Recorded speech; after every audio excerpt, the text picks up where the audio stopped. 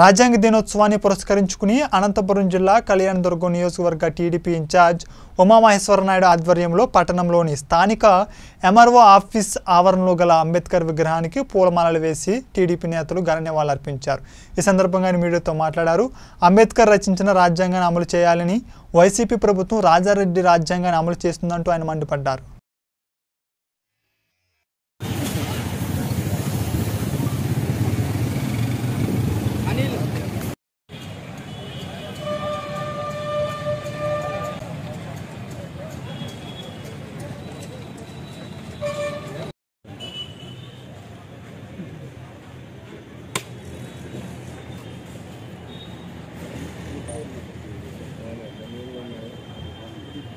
जोहार अंबेडकर जोहार अंबेडकर जोहार अंबेडकर जोहार अंबेडकर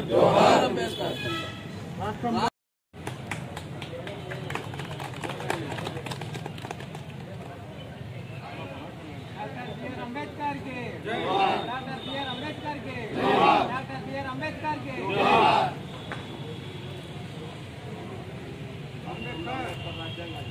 చేయాలి. రాష్ట్రంలో అంబేద్కర్ రాజ్యాంగాన్ని రాష్ట్రంలో అంబేద్కర్ రాజ్యాంగాన్ని రాష్ట్రంలో అంబేద్కర్ రాజ్యాంగాన్ని జోహార్ అంబేద్కర్.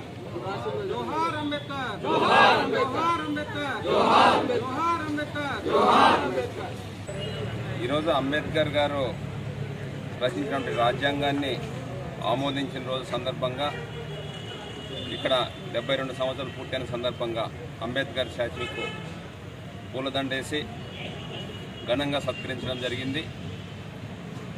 భారతదేశంలో ఏ ప్రభుత్వమైనా అంబేద్కర్ రచించినటువంటి రాజ్యాంగం ద్వారానే ప్రభుత్వాలు అమలయ్యే తీరును మనం చూస్తూ వస్తున్నాం.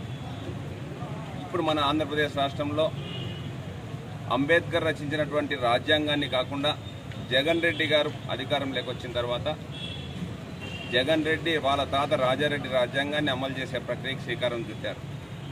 అందుకోసం రాజ్యాంగ విలువలను కాపాడాలి. రాజ్యాంగం నుంచి సంప్రదించి సం- రాజ్యాంగం నుంచి వచ్చినటువంటి మన హక్కులను కాపాడుకోవాలనే ఉద్దేశంతో మనమందరము ఈ రాజ్యాంగ